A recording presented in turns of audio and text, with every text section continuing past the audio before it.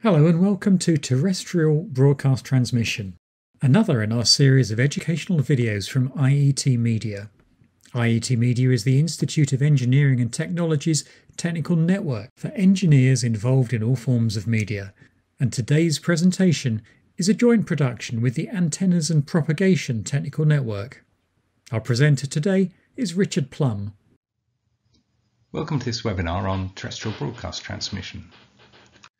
Uh, terrestrial broadcasting has now been around for uh, almost 100 years.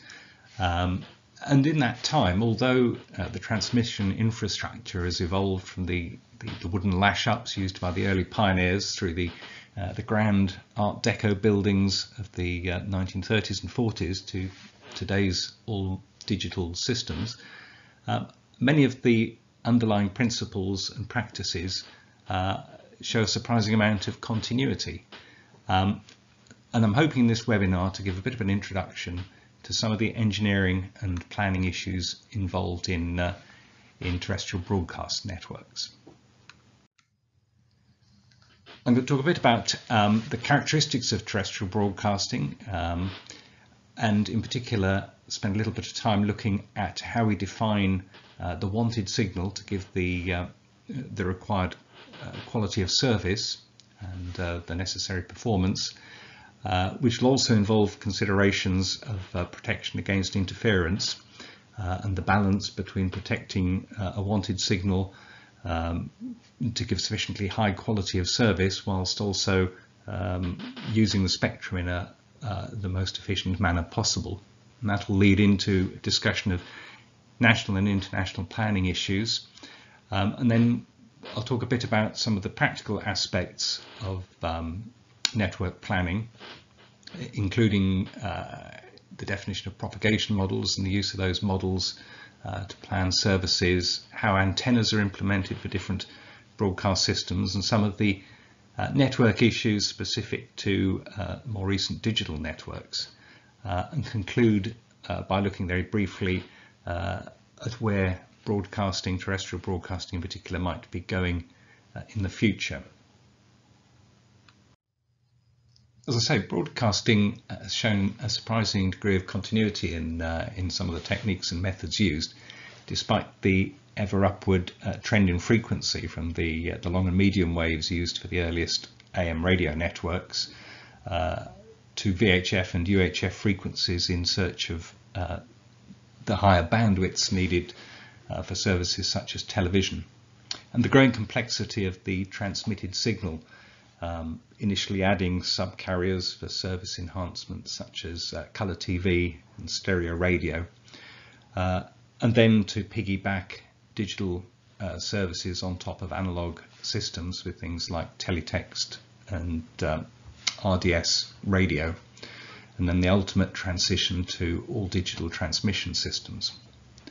And of course, many of the transmission aspects are uh, common to other radio systems, but there are some particular characteristics of, uh, broadcast networks, such as the fact that uh, you're aiming at a, a, uniform coverage of often quite a wide area, and importantly, receiver systems aren't under the control of broadcasters uh, in any way. Even in, in cellular networks, um, there is at least handshaking between the network and the uh, the user equipment and handsets. So uh, the network can operate in a cooperative uh, and self-adjusting way, and that's absent in in broadcast systems where you're launching a signal into space and hoping that the uh, the receiver equipment will provide an adequate quality of service. Uh, and if it doesn't, of course, the broadcaster can expect to be on, on the receiving end of, uh, of negative feedback from the audience.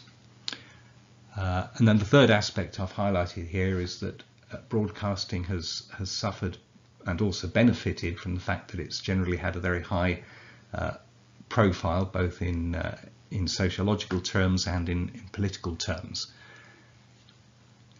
Topics I'm not going to cover here uh, include HF uh, broadcasting, shortwave broadcasting, which, although fascinating in the way um, it uses the, the ionosphere with all its vagaries to uh, transmit signals over long distances is, uh, is now undergoing uh, steep decline. Um, I'm not going to touch on satellite broadcasting um, direct home, uh, but only in relation to its use for um, providing feeds to transmitter sites. And I'm not going to talk about cable or fiber distribution, although they're undoubtedly terrestrial systems. Um, I'm only going to talk here about uh, the use of radio to distribute signals. And it's interesting to note that uh, back in the 1920s, the first engineer of the, uh, the BBC thought that radio transmission was a bit of an unsatisfactory stopgap and that uh, cable distribution of, um, of radio signals would uh, was much to be preferred and would ultimately uh, be the method adopted. I think he'd have been quite surprised to see just how long-lasting uh, radio uh, transmission systems have proved to be. So it seems pretty simple to, uh, in principle, to set up a, a, system for point-to-area transmission of radio signals. Uh, one would simply put a transmitter in the, uh, the middle of the area that you're trying to serve. Um, and if it's a, a, VHF transmitter, you might want to put it on the highest ground. If it's a, a, low frequency transmitter using ground waves, which we'll come to later, you might want to uh, locate it in an area of uh, high ground conductivity and then use an omnidirectional transmit antenna to send the signals in all directions. But we need to uh, specify the details of the system in terms of uh, power and antenna gains.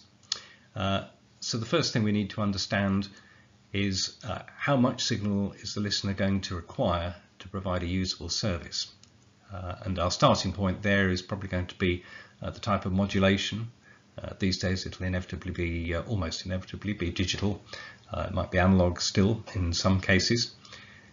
And this is generally expressed for broadcast services anyway in terms of electrical field strength, uh, usually expressed as decibels relative to 1 microvolt per meter.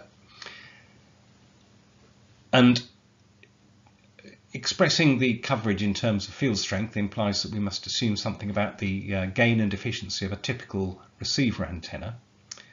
Uh, and we also need to define uh, the ultimate quality targets. What, what grade of picture, what definition of picture, what signal to noise ratio for a, an audio service or bit error rate for a digital service are we to provide and over what proportion of the area uh, and for what percentage of time. Uh, and we also need to allow for disturbances from uh, local electrical noise or from atmospheric uh, electrical noise. So even before we consider interference and um, complex uh, coverage targets, uh, even just setting up an omnidirectional circular transmission system, there's quite a lot to take into account.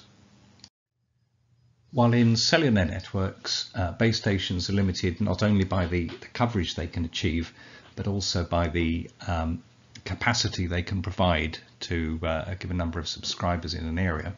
Uh, there's no such limit in broadcast transmission, so there's a very strong incentive to uh, erect very high power transmitters to cover as, as large a population as possible.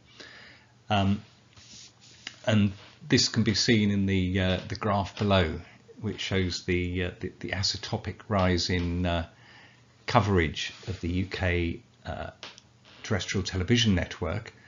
Um, and the purple line here shows that with uh, only around 40 transmitters, some 90% of the population was covered, but that uh, progress was very much slower from that point on, and it required around a thousand relay transmitters to bring that coverage up to uh, uh, a point uh, beyond about 98% of the population. And you can see that uh, this involved a very large number of, uh, of, very low power transmitters, so that the first few main stations that picked up the bulk of the population had uh, effective radiated powers, shown on the, the right-hand axis, of a few hundred kilowatts, whereas the network was completed with um, a very large number of, of tiny relay stations with uh, ERPs of, uh, of between a watt and 10 watts or so. If we're going to design a broadcast network, the starting point will be to uh, determine the, uh, the strength of signal required at a receiver to give the, um, the listener or viewer the quality of service that's required.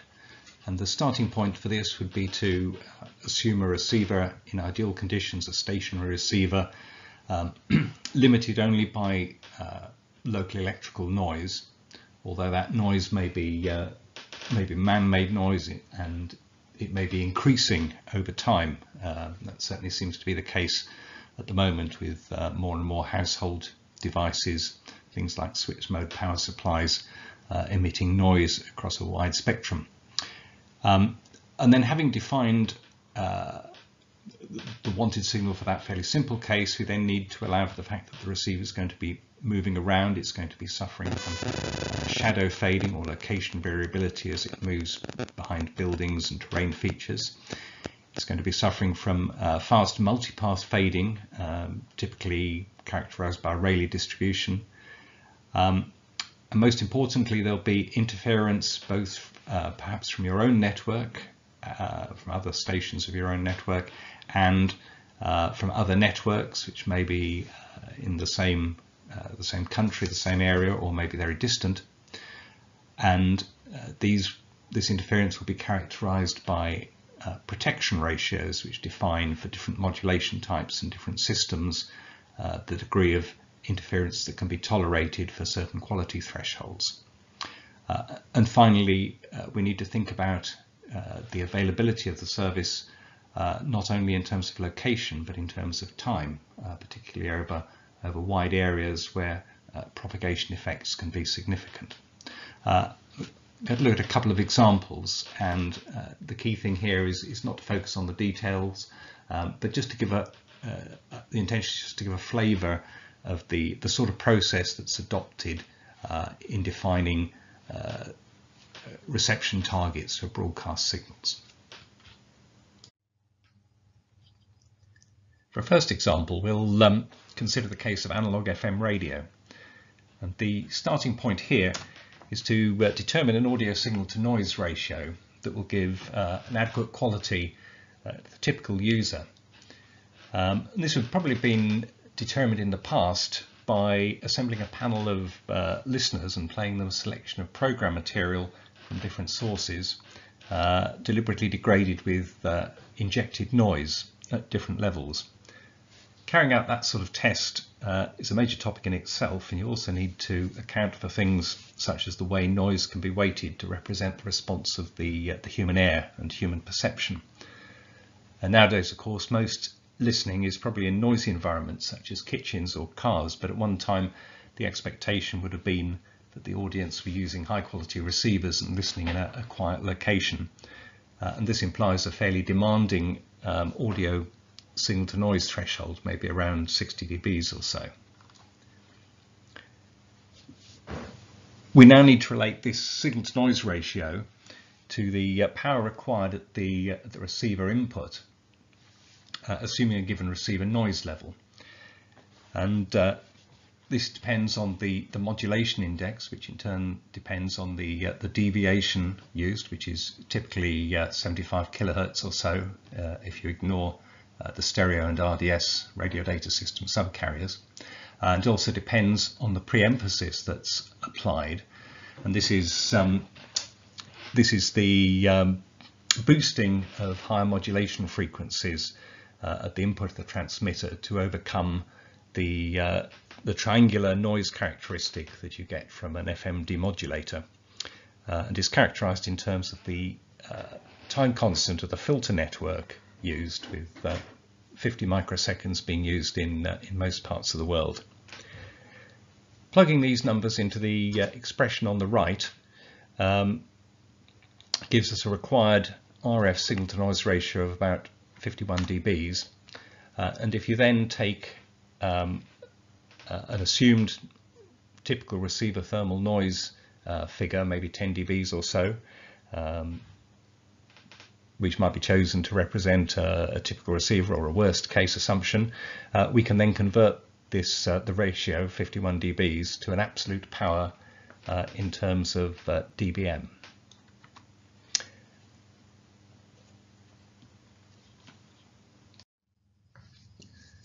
By tradition, broadcast signal strengths are usually expressed in terms of voltage, and the standard system impedance for radios and televisions is 75 ohms, which was originally chosen to give a good match to dipole antennas. So by Ohm's law, we therefore need a terminated voltage of around 38 dBs uh, with respect to 1 microvolt. For planning purposes, we need to express this as a field strength. Uh, for a service such as FM radio, where most receivers are going to be portable or mobile, it might be appropriate to assume a pretty low gain antenna, something like a dipole, um, where a rooftop Yagi antenna would give rather more gain and the uh, telescopic whip on a, a small portable radio might give rather less. And the voltage uh, available from a half-wave dipole um, is given by um, through the effective length of the dipole, which converts from the, uh, the field strength to the unterminated voltage uh, for a given wavelength. So uh, at lower frequencies, your half-wave dipole will be larger and will intercept more of the, uh, the electric field uh, and equally at higher frequencies you've got smaller dipoles so the effective uh, aperture of the antenna is less and the, the voltage available from the antenna uh, correspondingly less. Uh, we also need to allow uh, further 6 dBs for the effect of terminating the antenna into the matched load of the receiver. Uh, and when you take all this into account, you find that you need a, a minimum required field strength for a receiver with a dipole antenna and a, this noise floor we've assumed of 10 dBs uh, of around 44 dB microvolts per meter at a reference frequency around 95 megahertz. For a second example, I look at the case of um, digital terrestrial television transmitted using the, uh, the DVB-T standard. Um, and obviously, digital systems give you a lot more flexibility uh, and potential efficiency, and they allow us to trade the uh, transmitter power for bit rate or for robustness of reception. Um, so that, for instance, with the um, the earliest digital TV transmissions, which had to uh, share spectrum with continuing analog transition uh, transmissions before uh, analog switchover occurred, um, the emphasis was on providing a very robust signal to provide users with uh, uh, an assured quality of reception in the case when there was quite a lot of adjacent channel interference and where um, viewers' rooftop antennas were not necessarily optimized for the, uh, the channels used for the digital transmissions. Uh, and so um, the, uh, the modulation order was chosen to ensure uh, a very robust signal. But you can also um, have a trade-off between overall bit rate, um, so you can either transmit uh, a few very high quality channels or many channels of lower technical quality. And uh, this sort of trade-off has led to a lot of heated discussions, particularly um, in the context of the, the audio quality of, of DAB radio services. Um, so some people will always be urging uh, higher quality uh, pictures or audio. Others will be keen to um, to squeeze in as many uh, attractive services as possible into a given bandwidth.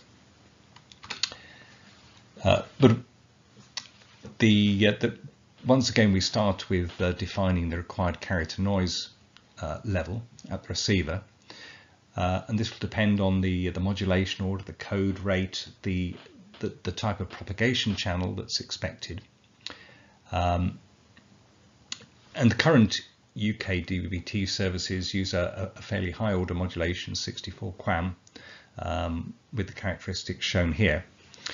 And for a good subjective uh, impression of uh, MPEG-2 coded pictures, uh, this is found to require a, a post-Viterbi bit error rate uh, of around 2 times 10 to the negative 4.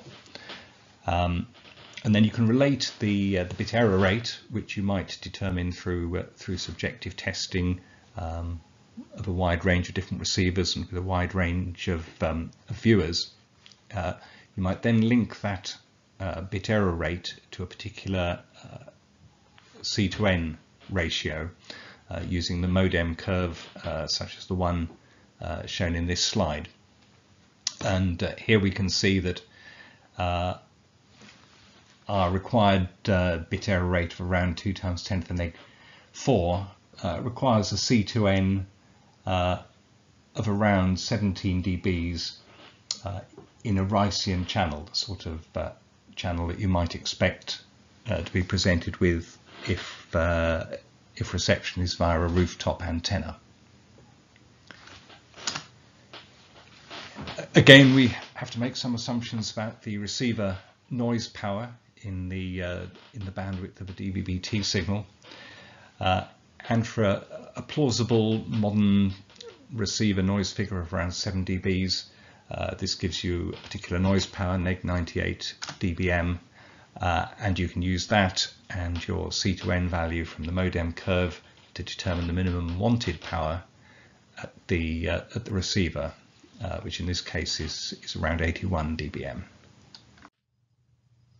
Now that uh, 81 dBm required at the receiver uh, corresponds to, uh, to around 28 dB microvolts in a 75 ohm system, but we need to relate that to uh, the field strength we need to provide from our transmitter network. Um, and a dipole is obviously much smaller at UHF, and so it intercepts less of our field, uh, it has an effective length of around uh, minus 16 dBs, so uh, dramatically less efficient uh, in terms of extracting energy from the field than our, um, our case uh, for VHF radio. And so if we were using a dipole antenna, we'd need a pretty high field strength of uh, 50 dB microvolts per meter to give us the, the required power at the receiver. But of course, uh, at UHF, we can easily make uh, relatively high gain antennas. So let's assume that viewers are using rooftop antennas uh, with an 8 uh, dB gain relative to a dipole, which would be typical for a, a, small log periodic antenna, the type that's used these days uh, pretty generally. Um, allow for a couple of dBs of loss in the typical feeder run down to the house. Um, and this gives us then uh, a minimum wanted signal field strength uh, of around 42 uh, dB microvolts per meter. So we now know the field strength we need to deliver to an individual receiver, but the problem is we can't predict uh, field strengths on a per receiver basis.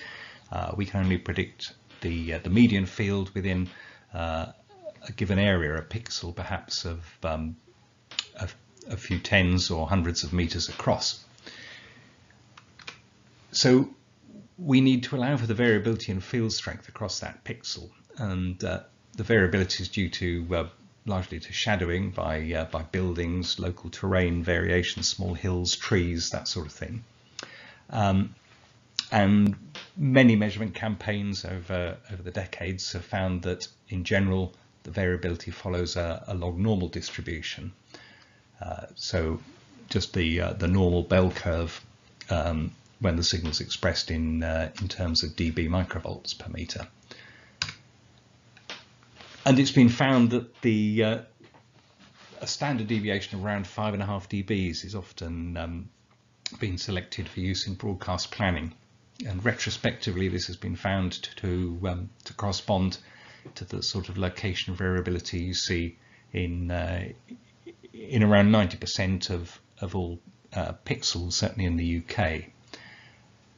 So if you want to build in uh, a margin to ensure that 95% of receivers within a, a given pixel uh, receive a satisfactory service, you need to uh, provide a margin with respect to the median signal of around 9 dBs. If only 70% or so require um, uh, an assurance of reception, uh, that margin falls to around 3 dBs. Um, the lower figure might have been appropriate uh, in the days of analog reception, where um, quality of service falls off uh, fairly gradually as the uh, the signal strength falls. But in the case of digital services, it's probably necessary to um, to ensure a higher availability, so the 95% or even higher availability would be, be appropriate.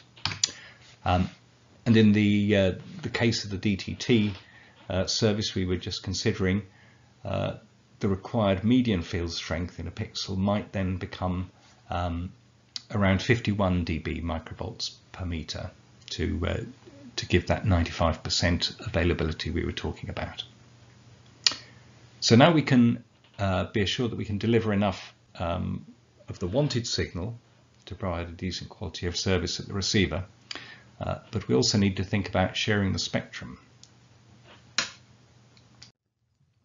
So in broadcast systems, the susceptibility uh, to interference is usually described in terms of protection ratio, uh, which is uh, the ratio, usually given in dBs, that uh, describes how much stronger than an interfering signal, the wanted signal must be to, uh, to deliver the required quality of service.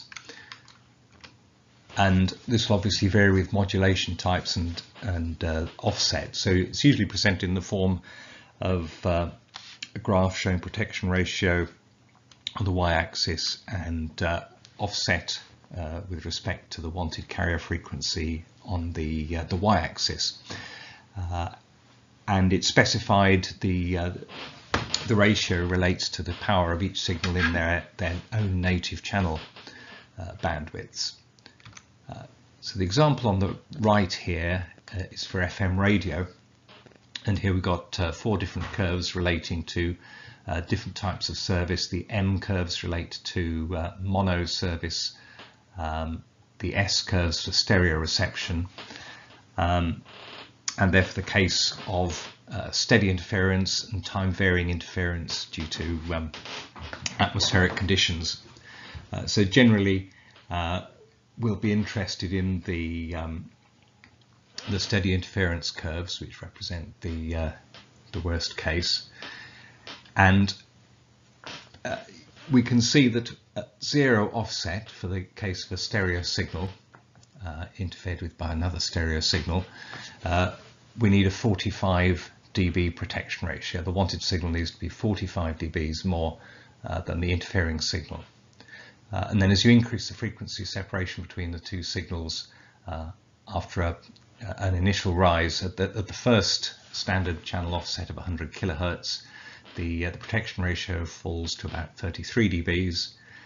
Uh, by the time we get to 200 kilohertz, you only need to be uh, 7 dBs uh, greater than the interfering signal uh, for a reasonable quality of service. Uh, and then the protection ratio actually becomes negative at 300 kilohertz offset. So uh, at that wider separation, the interfering signal can actually be stronger uh, than the wanted signal uh, without disrupting the, the quality of service.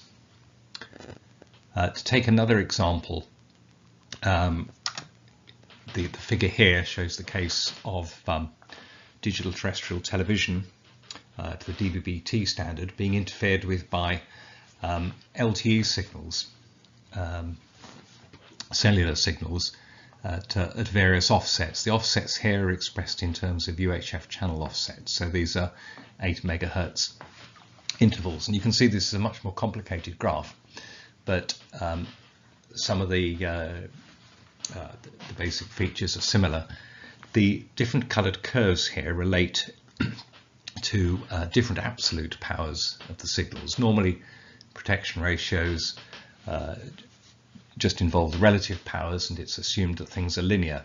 But uh, there's a particular problem with uh, interference in the UHF band between TV receivers and, and LTE that some very non-linear effects can uh, uh, can cause significant problems. You've very often got the case in this scenario where uh, a TV receiver may be very close to an LTE base station. And so that's what's being explored in this graph uh, with very strong um, LTE signals, the purple curve here, uh, causing significantly uh, greater interference due to um, uh, due to driving the front end of the set into into non-linearity. Uh, but you can see again that the highest uh, protection ratios are required for the uh, frequencies closest to the wanted signal. So here we've got um, required protection ratios at um, one or two channels away of uh, minus 20, minus 30 dBs. So it might seem that this is uh, a relatively relaxed uh, requirement but unlike the FM uh, radio case, as I say, it's very likely that uh, a TV receive antenna might be quite close to an LTE macro cell. So you'll very often come across the case where um, the unwanted LTE signal could easily be 20, 30, 40 dBs higher than uh, a DTT signal from a, a relatively distant TV transmitter. Uh, but you can see, as before, the protection ratio falls away uh, with frequency. So once you're 10 channels or so away, um, the protection ratio uh, can fall to uh, as little as minus 60 dBs. So the, the LTE signal at a large offset, an 80 megahertz or so offset, can be uh, 60 dBs or so greater than the wanted signal. Uh, another interesting artifact on this graph is this uh, anomalous response here at um, uh, nine channels above the wanted frequency. And this is caused by the use of um, uh, a standard TV receiver architecture, which is a, a superhet uh, with an IF frequency of around 36 megahertz, and this corresponds uh, to an image channel relationship at, uh, at a nine channel offset. Uh, and that's what gives this spurious response here. It's an image channel response. Uh, most modern TV receivers won't uh, show this response because the architecture generally uh, is now a, a, zero IF or a near zero IF direct conversion uh, architecture rather than a, a standard superhet architecture.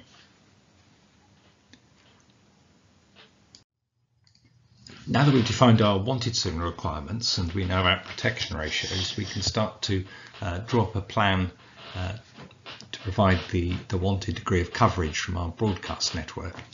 The um, sketch below shows the field strength um, on a line between two transmitters, uh, transmitter 1 and transmitter 2, and as you move away from transmitter 1, obviously the field strength from that transmitter falls, but the field strength from the other transmitter, transmitter 2, increases. Uh, and we know from our wanted signal requirements that uh, we have a particular um, field strength that uh, defines the noise limited coverage. But in practice, uh, broadcast systems are always uh, going to be interference limited uh, just because of the, the demands on spectrum. so we assume that we have to take the protection ratio from the second transmitter into account. And this implies that the the service area of transmitter 1 will be limited by the interference from transmitter 2, um, dictated by uh, the protection ratio that we looked at in the, the previous slide. So um, this is the uh, field strength uh, given by the protection ratio requirements to provide the service uh, quality we want from transmitter 1. Uh, so the interference limited service radius is uh, almost always going to be lower than the noise limited service radius. Obviously, if we change the relative frequency separation of the two transmitters, we can expand this interference limited service uh, radius uh, to approach the noise limited service radius. But in general, um, if we had these two transmitters operating on the same frequency, there'd be a large sterilized area between them uh, where we'd need to provide coverage from uh, a third or a fourth or a fifth transmitter. And so we start to uh, build up the concept of, um, of the matrix of transmitters that we're going to need to provide contiguous coverage uh, across any given area. The need to take account of protection ratios means that uh, a large number of uh, frequencies are generally needed if you're going to uh, plan a network to give contiguous geographical coverage, uh, particularly over a large area, um, and partly because of the fact that uh, interference at UHF uh, and VHF frequencies can uh, propagate over very large distances uh, for small percentages of time. Uh, so if we're to protect our network for, for 90 or 95 or 99% of the time, we may have to allow for interference from transmitters uh, several hundred kilometers away. Um, so for instance, the uh, UHF network in the UK, the analog network, required uh, 11 channels uh, to provide coverage uh, for each individual program channel. and the, the same thing applies in traditional digital networks, although the protection ratios are often smaller in the digital case, uh, it's still the case that um, if you've got uh, a nearby transmitter being interfered with by a more distant transmitter, the um, misalignment between the symbols will cause uh, inter-symbol interference as shown in the diagram below. In COFDM systems, we have the concept of a guard interval, which can uh, provide protection against either multipath in perhaps in mountainous areas we've got uh, delayed energy being scattered back from mountains or hills uh, or for delayed signals from distant transmitters. Um, and this guard interval is implemented uh, by the use of a cyclic prefix where each symbol uh, is preceded by um, uh, an additional chunk repeated from the end of the symbol to effectively lengthen the transmitted time of each symbol. Um, so the symbol extends uh, beyond the receiver window used to detect the symbol. Um, and this means that for the penalty of uh, a somewhat reduced data rate, because you're using more of the uh, transmission frame time to transmit each symbol, um, you build in uh, a ruggedness against multipath. Uh, and this not only uh, allows uh, the system to be more robust in the presence of reflected uh, interference, but it also allows a single frequency network to be implemented where if the cyclic prefix, if the guard interval is long enough, all the transmitters within a, a, given geographical area can operate on the same channel and the uh, power in each of their symbols will be added constructively. and there's a quite a complicated um, uh, set of algorithms used to um, to determine how the receiver window is positioned to uh, to maximize the uh, the useful power from the variety of symbols it seems from uh, potentially a large network of transmitters. Although the idea of a single frequency network then seems to offer the the possibility of an end to uh, spectrum shortage and um, to do away with the need for frequency planning. It's not really a straightforward solution. Uh, signals beyond the guard interval can still cause uh, interference. So um, even if you sacrificed quite a lot of your channel capacity, maybe up to a quarter of the capacity in a DVB-T system to allow for a, an inter-transmitter spacing of up to 67 kilometers or so, um, there's still a possibility that very long distance interference from tropospheric ducting or uh, other mechanisms uh, can exceed the, um, the guard interval and cause network problems. And there have certainly been some cases of uh, this sort of effect in, in parts of Europe in recent years where um, in summer months where there's been high pressure and uh, prolonged ducting, these sorts of problems have occurred and the, uh, the network has suffered outages in some areas. Um, and then a, a, practical problem is making the transition uh, to a single frequency network. Uh, the problems of finding a single channel uh, available throughout uh, a country or an area that can be used for um, uh, to implement a single frequency network can be really difficult because historically international coordinations obviously always used multi-frequency networks appropriate to analog cases. So a very considerable renegotiation potentially with multiple neighbours can be required to free up uh, one channel uh, for a DAB or DVB-T uh, broadcast network for use in a single frequency basis. Anyone setting up a broadcast network is going to need to consider um, international coordination and domestic coordination uh, to make sure that there's no mutual interference on the, uh, the frequencies to be used.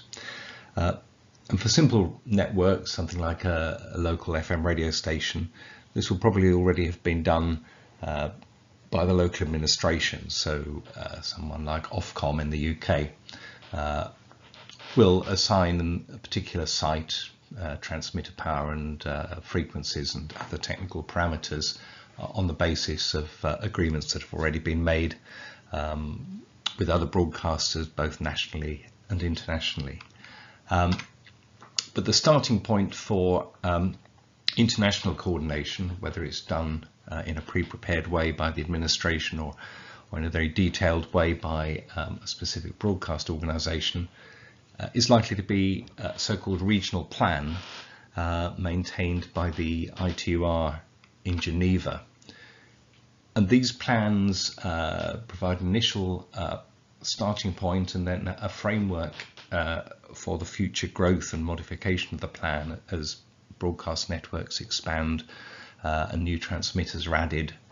Uh, and the box here shows uh, examples of a few um, current uh, and recent plans. Uh, one of the oldest was the um, uh, the regional plan developed in Stockholm in 1961, which laid the basis for the expansion of TV services at UHF frequencies throughout Europe and beyond.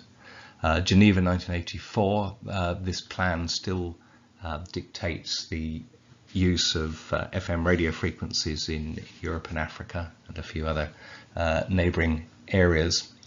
Uh, and most recently, the uh, Geneva 06 plan, 2006, um, set out the basis for the transition to, uh, to digital television at VHF and, and UHF frequencies.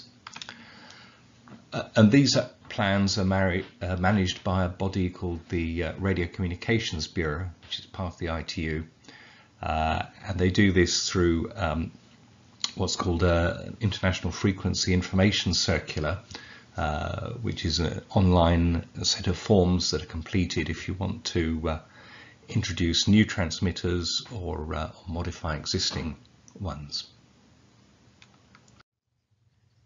As a starting point for planning, it's um, often assumed that uh, you have a, a, hypothetical network of identical transmitters uh, distributed on a, a regular lattice, uh, and then frequencies are assigned uh, to each of these uh, notional transmitter sites on a, on a regular basis according to uh, a simple algorithm.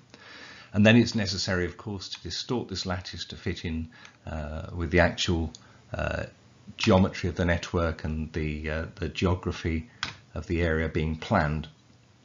And uh, the rather blurry picture on the right here is taken from uh, the old Stockholm plan of 1961 uh, and it shows the way in which the uh, initial regular lattice network was distorted. Um, and you can see these, these lines here which uh, represent the modification of the lattice to suit the actual geography of the situation.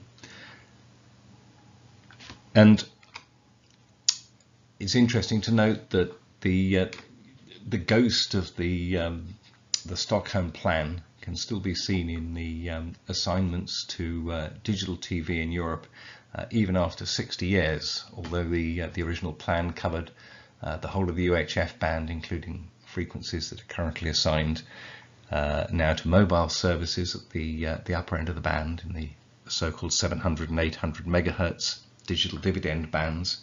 Um, there are still assignments associated with those uh, that were originally made uh, over 60 years ago uh, that can be seen in the uh, in, in, the current iteration of this plan in the uh, the Geneva 06 plan. One uh, important distinction that is made is between so-called allotments and assignments. Now, as we've seen with these hypothetical plans, even when you've distorted the um, uh, the assumed lattices to take account of geography, uh, it's very likely that you won't know the exact position of a future transmitter. Obviously, site acquisition uh, is a complicated process uh, involving uh, very detailed local planning considerations. So it's quite likely that um, you'll only be able to think in terms of a transmitter site intended to serve a, a given region. And so initial planning is often based on, uh, on the concept of uh, frequency allotments, where you uh, assign a frequency to uh, a generic area. And rather than model this on the basis of a, a specific site, you model it in terms of um, field strengths not to be exceeded at the, uh, the boundaries of this um, allotment area. And then uh, at a later point in the planning, administrations are able to convert uh, such allotment areas to specific frequency assignments at uh, particular transmitter sites once you know the exact geographic location. Um, and it's at this point that uh, things like antenna radiation patterns and uh, precise EIRPs or ERPs will be uh, specified and associated with those assignments. In uh, some cases where the uh, expected eventual transmitter density is fairly high, for instance in a, a single frequency network for uh, something like DAB broadcasting, um, the concept of a reference network may be used where you um, tile uh, the whole of an allotment area with a, a repeating uh, pattern of transmitters at a given uh, transmitter separation distance uh, so as to um, give a more accurate representation of the, uh, the amount of potential interfering power that may be exported uh, from a given allotment area. Uh, even for very high level planning for the purposes of uh, international coordination, we're going to need propagation models to describe the way in which field strength uh, falls away with distance for a given transmitter. And uh, more detailed models are going to be needed when we start to look at uh, the selection of individual transmitter sites and the, uh, the detailed pattern of local coverage and interference prediction. And in the earlier days of uh, broadcasting, the only way to uh, to do such predictions was by um, laborious uh, individual testing of specific sites. So uh, teams of engineers would erect uh, temporary masts or fly uh, tethered balloons, um, and then a vehicle would explore the local area to to map the field strength in the region. And these sorts of measurements were quickly used to draw up uh, simple empirical uh, models, generally in the form of um, graphs of, of, field strength versus distance, as in this, this early ITU document. And this simply shows the way in which over, over a scale of hundreds of kilometers, the field strength from a, a transmitter of a given power, in this case uh, one kilowatt ERP, uh, could be expected to decline um, and these just show the uh, the median values of field strength over a, a, wide area. So you're smoothing out all the um, all the uh, the local variability that you'd see in the real world. Uh, but even for these simple models, it was recognised that there's a large amount of, uh, of variation with time uh, over these longer distances in the VHF and UHF range due to variations of refractive index in the troposphere. So you can see that the uh, the 1% time curve uh, predicts significantly greater field strengths than uh, than the median uh, percentage time curve in the uh, the lower curve here. And this very simple model, um, this was the first model uh, used at VHF frequencies by the ITU, and um, this went on to become uh, a quite well-known model recommendation uh, 370, P370 of the ITU, uh, which has further evolved into recommendation P1546 and is still uh, still has the form of a set of curves, so usually it's implemented as a, a computer prediction method these days, um, and is still very widely used for, uh, particularly for international coordination. Uh, these sorts of empirical models um, quickly became more detailed um, as more input data was available and became tailored for uh, computer implementation from the, uh, the 1960s onwards. Uh, and at every stage in this process, the accuracy available from the models has been constrained by uh, the input data available, um, which for uh, lower frequencies, uh, the most important input is probably knowledge of the ground conductivity, which determines the, uh, the propagation uh, of the ground wave at, uh, at lower frequencies, or at uh, higher frequencies, of course, the, uh, the details of the terrain, and also the clutter on the terrain, so information about local buildings and vegetation and the amount of attenuation and screening um, and the statistics of that attenuation um, due to ground cover uh, become very important and several uh, models have been standardized by the ITU for use in, um, in international planning and bilateral coordination. I've already mentioned uh, the empirical model of, of P1546. Um, but uh, more recently, um, semi-physical models that take into account the um, the diffraction uh, across different types of terrain and the uh, the variability of the uh, the atmosphere uh, have also been developed and the model primarily used for broadcasting is recommendation P1812 and this semi-physical model for VHF and UHF um, propagation. And apart from the uh, the variation in signal strength with geography, uh, which is the thing we most often think about, we also need to uh, predict the variability, uh, particularly of interference with time. Um, and for the lower frequencies, uh, this implies modelling the behaviour of the uh, the different layers of the ionosphere to understand how um, propagation changes between, particularly between daytime and nighttime. Uh, and at the higher frequencies, uh, tropospheric effects, particularly uh, changes in the refractive index, can give rise to um, very long distance propagation um, of, uh, of interference over paths of, uh, of tens or hundreds of kilometers. And uh, this needs to be accounted for statistically in these models. I'm going to start by talking uh, fairly briefly about um, LF and MF broadcasting, traditional AM radio broadcasting, because although it's um, in fairly rapid decline, um, networks are being switched off, it still retains um, a place as a, a, bit of a niche service um, and is attractive for providing uniform coverage over quite large areas using a small number of transmitters. So though in, in most urban areas um, and most uh, developed countries, it's um, it's rapidly becoming obsolescent. Um, in some areas, particularly coverage around uh, thinly populated areas or islands, uh, it still has a, a, role over the next few years probably.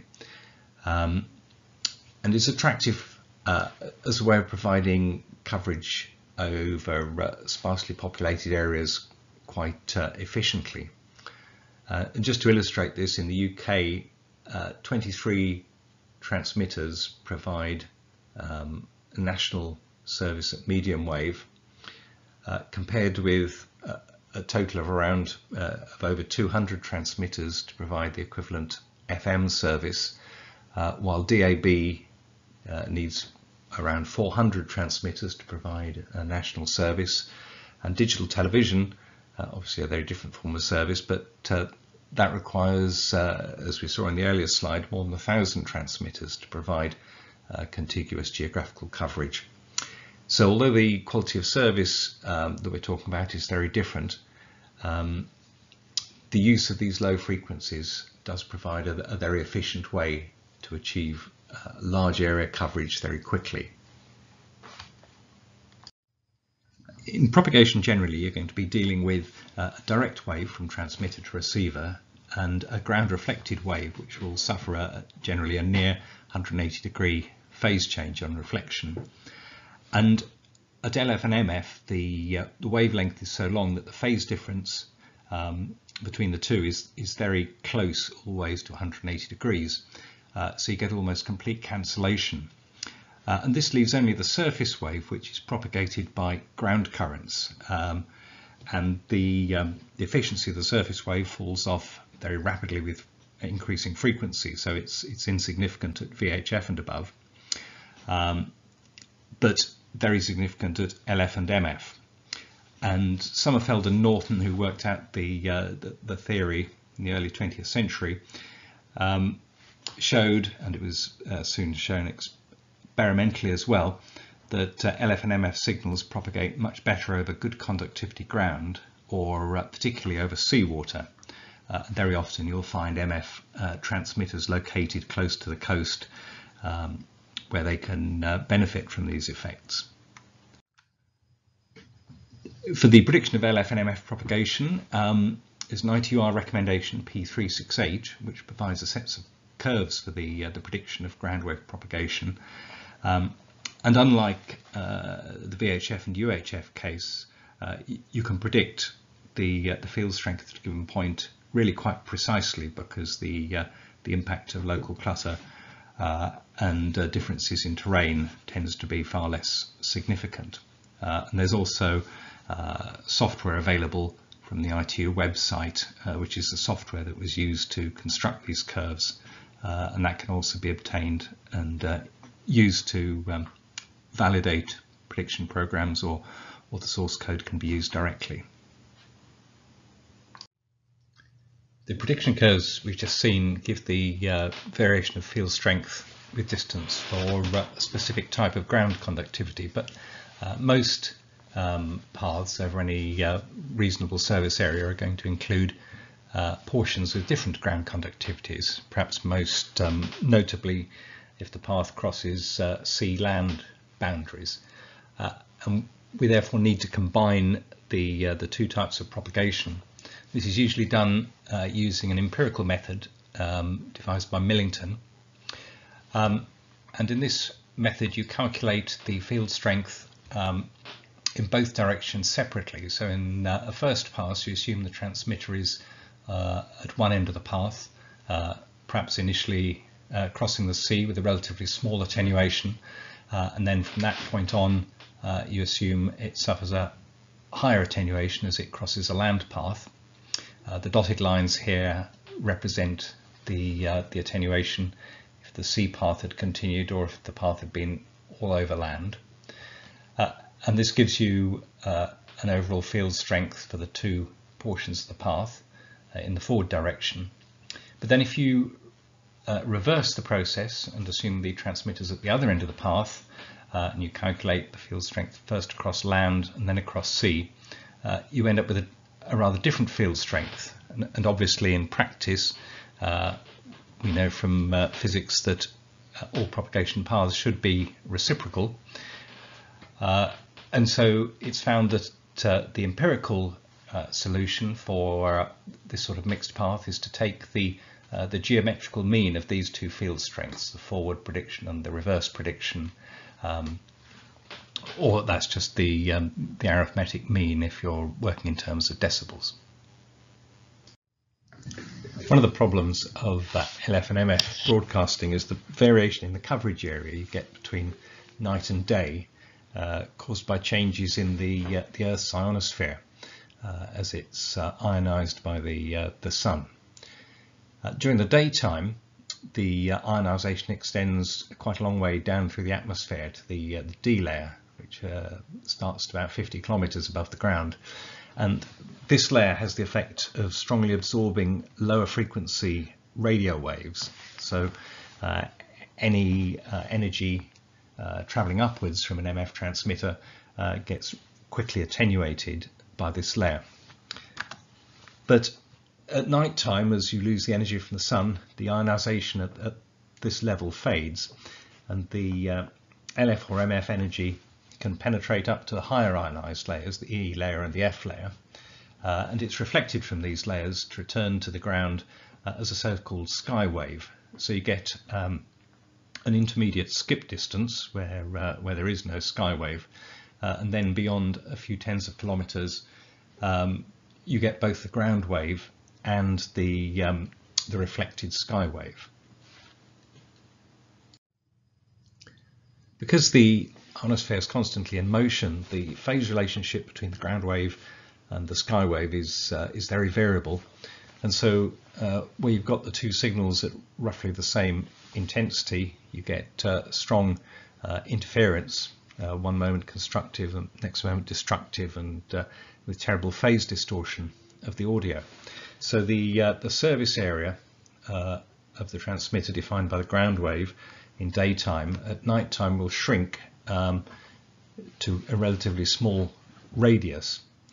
Um, also, of course, beyond the, uh, the interference zone, um, you enter an area where the ground wave has fallen to uh, a low value and you can uh, receive quite a good signal uh, from the sky wave alone. So this has the effect of extending the service area greatly. Uh, but this is usually of, uh, of no benefit because frequency planning means that other stations beyond the nominal service area will be using those frequencies and so there'll be mutual interference either between the sky waves of those stations or the ground waves of those stations. So the net effect is to um, to shrink the service areas of, uh, of most stations using the band uh, during the night, which is uh, a real problem for service planning. The only way to mitigate this sort of interference is really to try to discriminate against the sky wave uh, by changing the antenna pattern. And that's very hard to do uh, given the size of antennas uh, at these frequencies. If you have a small antenna, um, as shown in the, uh, the first diagram here, the vertical radiation pattern uh, is extremely broad. And as you can see, it really, uh, if anything, it discriminates against the ground wave. Um, and it certainly uh, doesn't reject uh, incoming uh, skywave radiation at higher elevation angles.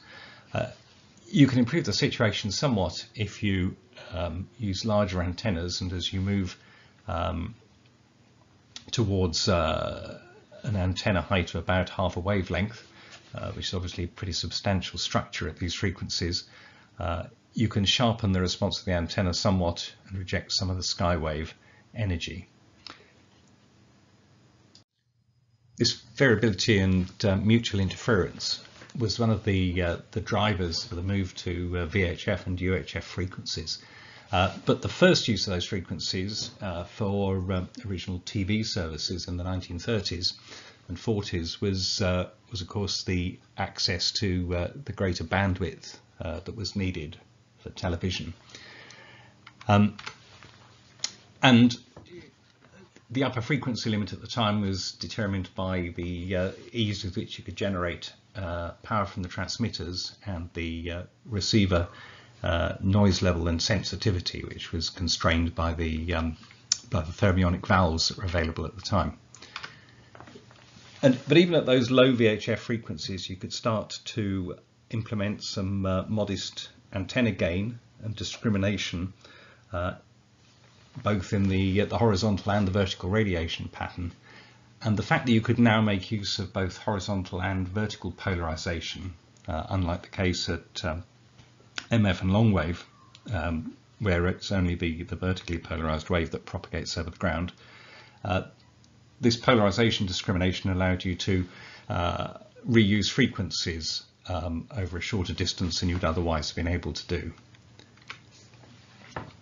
The main thing people had to get used to in exploiting these frequencies was the, the strong dependence of path loss on the details of terrain. Um, so there's a much higher level of uh, variability over a small area uh, than people have been used to uh, in planning MF and LF services, uh, much more fading. And you also needed to start to consider the relationship between the, uh, the direct and reflected components of the space wave. So although I no longer have to consider reflections from the ionosphere, the skywave with its, its very unpredictable phase relationship, um, you do need to consider uh, what's going on between the, um, the wave that uh, propagates directly from the transmitter to the receiving antenna, which is likely to be uh, uh certainly for these early broadcast services on top of a house, and the, uh, the ground reflected component. So at, um, at VHF frequencies, even ground covered with um, houses and cars and trees and so on looks um, relatively uh, smooth in radio terms because the wavelengths are so long, sort of six or seven meters or so. And um, this makes the ground look smooth and supports uh, specular uh, reflections of the energy and the interference between the direct and reflected waves uh, means that the height gain is quite predictable at these frequencies. When the um, energy is reflected from the ground, it undergoes a 180 degree phase shift. So for paths that are very close, um, re receiving antennas that are very close to the ground, the uh, direct and reflected um, ray paths have almost the same path length so there's a 180 degree difference between them uh, and the energy more or less cancels. Um, and this is particularly the case for um, for horizontal polarization, vertical polarization um, indicated in this diagram, which shows the reflection uh, curves as you increase the angle above the horizon, uh, is much more variable. Uh, but the end result is that for the lower VHF frequencies, um, as you move away from the ground, you move away from a, a position where the two uh, two waves more or less cancel, and you have a very predictable um, height gain. Uh, as you move up in frequency to um, the FM broadcast band in band 2, 88 megahertz or so, uh, and then into the higher VHF range and then certainly the UHF broadcast band, uh, the ground starts to look far less uh, smooth and you don't get the same sort of specular reflections. And so you lose um, this very um, definite relationship between uh, height above ground and um, and the height gain, the relative phase relationship of the directed and reflected waves. But you still see the same sort of height gain as you move the antenna up, simply because you're getting clear of all the local obstructions and the, uh, the diffraction losses caused by neighbouring hills and buildings. So the mechanism is a bit different uh, and the variability is greater, but as you move up in frequency, you still see uh, a strong height gain. Uh, and reflected energy um, not only has to be considered in terms of the impact it has on the uh, the overall signal level, but also in terms of um, things like ghost images on TV or, or multipath distortion on FM radio.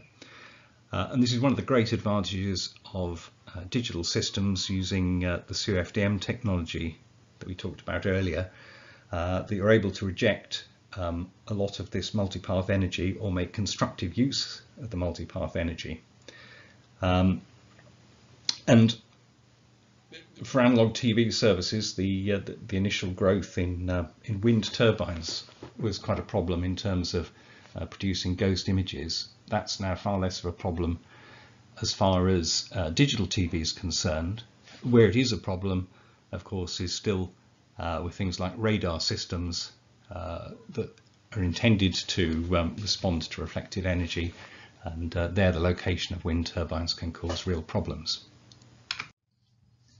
For the initial planning of uh, VHF services, the sort of empirical models I mentioned earlier um, were quite widely used, um, and these are enshrined in ITU recommendation uh, P1546, which consists of the, uh, sort of set of uh, tabulated set of curves that you see um, in the figure here and these just show um, the way in which field strength uh, varies over distance. The median field strength varies over distance uh, for an assumed uh, transmitter of a nominal one kilowatt for different transmitter heights, uh, for different percentages of time and for different environments and frequencies. So there's a whole, whole set of curves that you can look up. Uh, and these gave useful models for initial planning, but um, they're now mostly relevant and used for international coordination because with the, the move to UHF, the coverage, uh, service area coverage became much more fractured. Um, at the higher frequencies, diffraction losses become much more important. So you tend to get uh, deeper shadows behind every um, every hill, every change in terrain. Um, and this implies that you need more detailed models. So uh, some of the models that have been developed since then, um, those that the BBC uh, developed that are used in the UK, um, the model of Longley Rice in the US and some of the ITU models, recommendation 1812 for instance, these start to take um, physics into account in terms of uh, trying to predict diffraction loss. Uh, so they, they tend to be a blend of a physical model and a statistical model um, that takes in terrain data and information about environmental clutter to improve the, uh, the predictions that are made.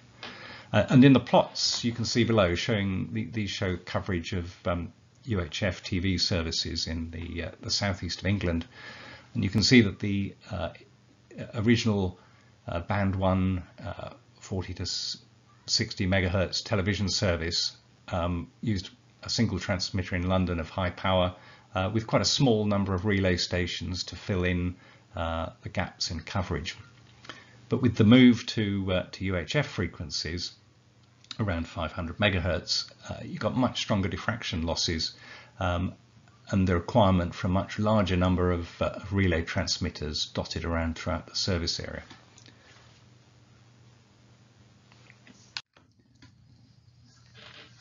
And uh, another thing that needs to be taken into account in VHF and UHF propagation, you don't really see in uh, in medium wave and long wave propagation, is very great uh, variability with with weather conditions. And this is particularly the case as you move up in frequency into the, the UHF range, um, where changes in the uh, in the troposphere, in the the lower levels of the atmosphere with weather, um, changes in the refractive index can uh, cause very great enhancements of, of distant signals. You end up with um, the radio equivalent of a mirage, uh, as one illustrated here, um, showing objects beyond the horizon that uh, suddenly become visible due to the, uh, the bending of uh, waves in the atmosphere.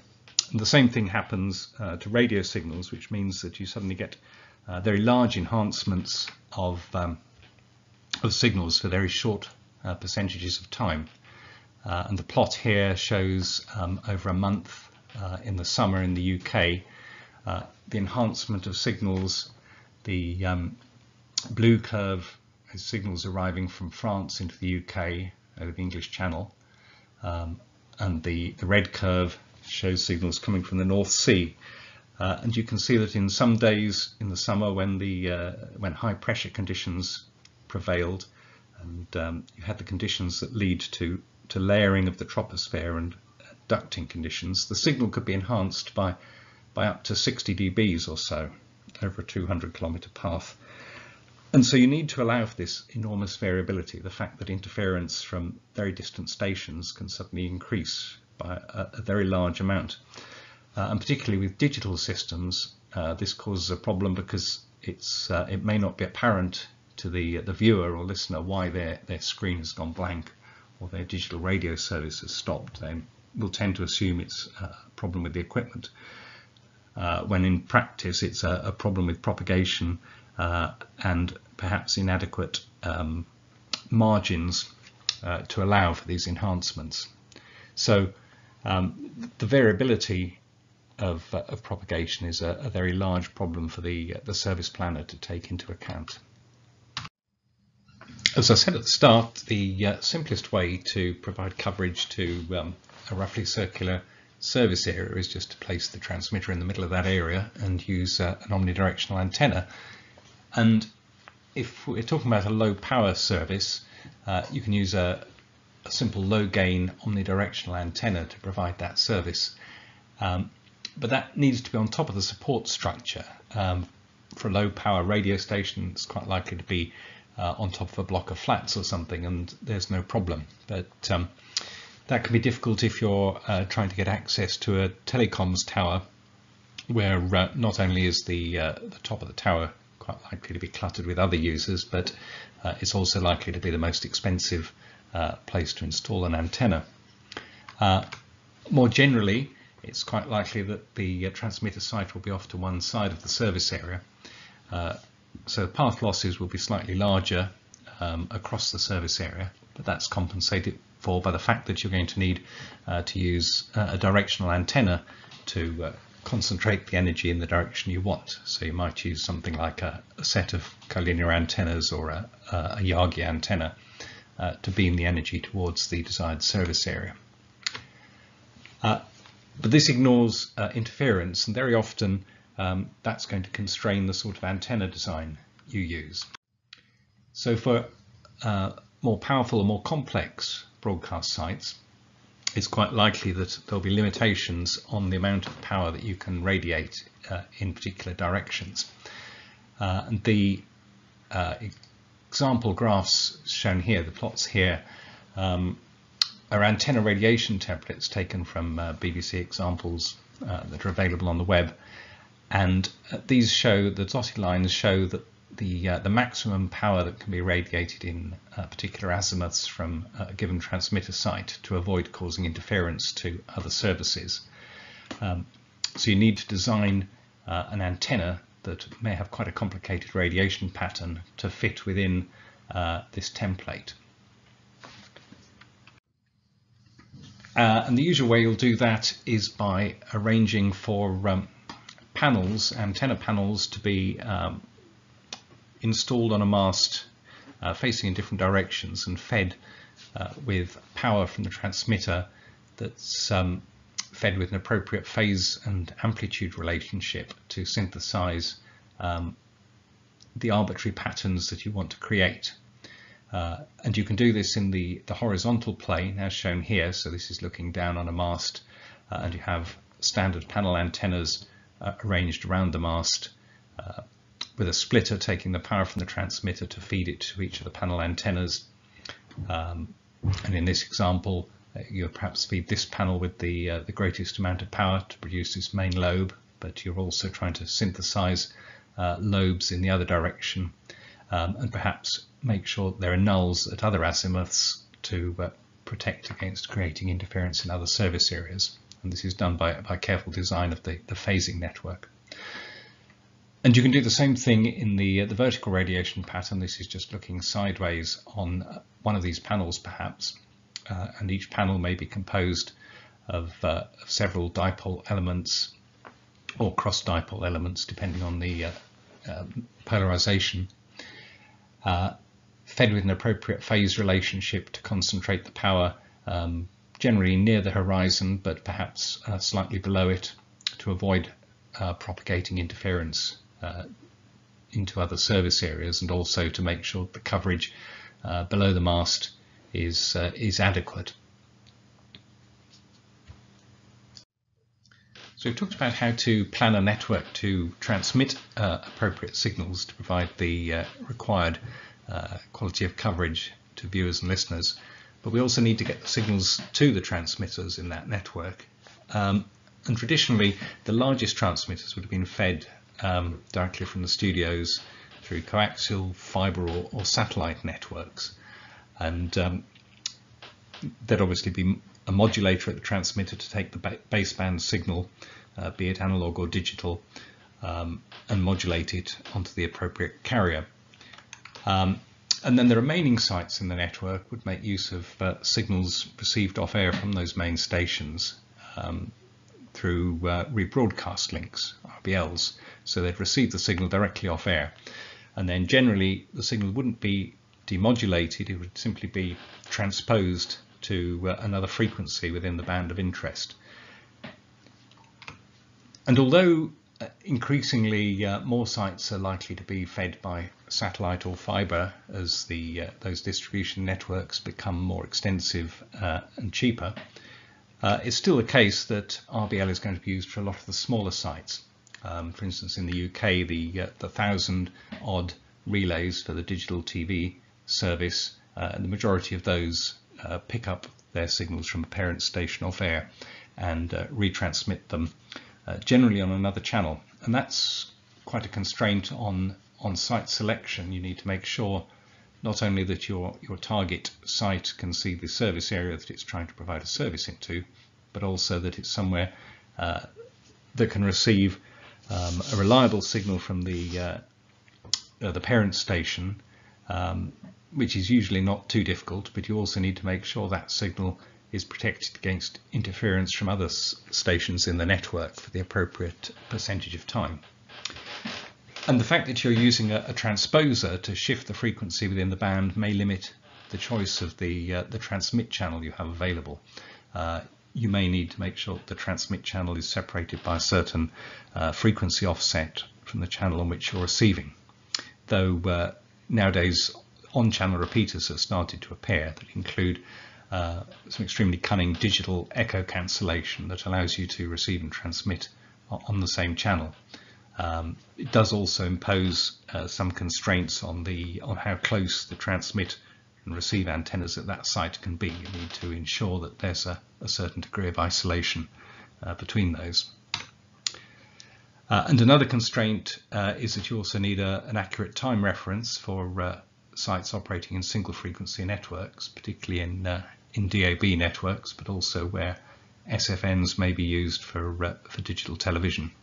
And this is generally de derived from uh, GPS signals. So those are all technical considerations, but it's very rare for a, um, a service planning engineer to be able to um, to base uh, site selection purely on uh, technical considerations. Uh, and in practice, you'll often find that you have to adopt a compromise site. Uh, one of the most expensive issues, certainly in rural areas, is making sure there's a reliable power supply um, to the site under consideration. And although you can use solar and wind power, uh, that also puts demand uh, on things like um, uh, battery storage, which may be uh, very expensive uh, consideration if it's um, going to be sufficiently reliable. Uh, then there are the, the commercial issues of site acquisition, um, consideration of rental costs, uh, and in some cases you may need some extensive groundwork um, and you may need to make sure that you've got reliable access tracks. You may need to provide reliable access tracks for 24-hour um, access by maintenance crews. Um, and we mentioned uh, briefly uh, program feeds, so uh, they may also end up constraining the, uh, the selection of uh, particular sites. Looking forward, at the end of this, uh, this brief survey of um, broadcast transmission technology, it's probably the case that LF and MF broadcasting is, is dying out. one of the reasons for that is simply that receivers are going to be increasingly hard to find. It's um, it's a long time since I've seen a receiver uh, in a high street shop that covers uh, the medium and long wave bands. Um, but there are some niche markets that uh, will continue to see these services for some time.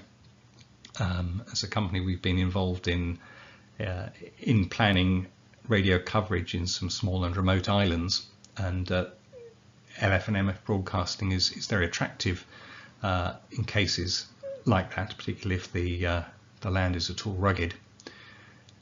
Um, but they're also going to face competition not only from uh, other forms of broadcast transmission, uh, like FM and DAB, but also from the increasing ubiquity of, of 4G and 5G.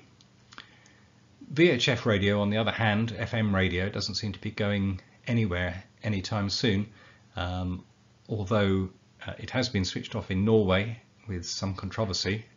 Um, in most other countries, people are talking about analog switch off, but uh, I think it's probably quite a, a brave political decision to um, to enforce this in a short time scale.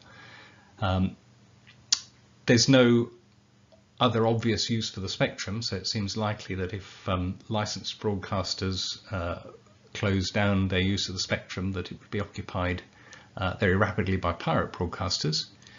Um, it has the merit of being cheap and ubiquitous. There's a, a, very low cost of entry for broadcasters. But again, listening habits uh, are changing. And uh, as I say, the competition may well end up coming from 4G uh, and 5G mobile services. Uh, digital terrestrial television, again, this is um, a service whose audience is shrinking um, not only do most households now have access to um, OTT over-the-top services provided over uh, broadband connections, which provide uh, a very large range of channels compared with uh, that that's available by DTT. Um, but also there's great pressure on uh, on broadcasters for spectrum release and the uh, the repurposing of uh, the UHF spectrum in particular for for 5G and 4G services.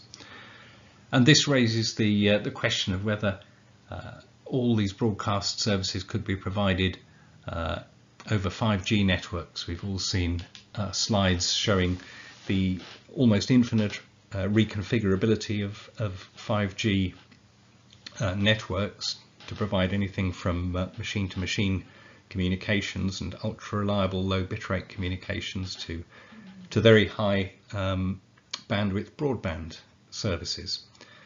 Uh, and certainly the um, the coverage in, even in rural areas of um, 4G and 5G services is, is expanding fast. I think whatever the future of uh, broadcast networks, having survived for um, 100 years or so, there's going to be uh, a need uh, for some time to come to, uh, to plan and to replan and implement and maintain uh, traditional broadcast networks. So I hope this webinar has given you um, a brief overview of some of the things we need to think about um, in uh, planning broadcast terrestrial transmission. There's obviously an enormous amount of information available online, but a couple of particularly um, detailed and authoritative sources are um, the uh, technical part of the EBU website and uh, the uh, the publications, uh, the broadcasting publications, recommendations and reports of the of the ITU, uh, where broadcasting falls under the um, responsibility of, of study group six, of the ITUR. Uh, so I'll just leave you with a, a holiday picture uh, taken while site testing UHF frequencies in Scotland this year. And um, thank you for watching this webinar. And um, if you have any uh, any requirements um, or any questions about the content, uh, do feel free to get in touch with me at the at the address shown. Thanks very much.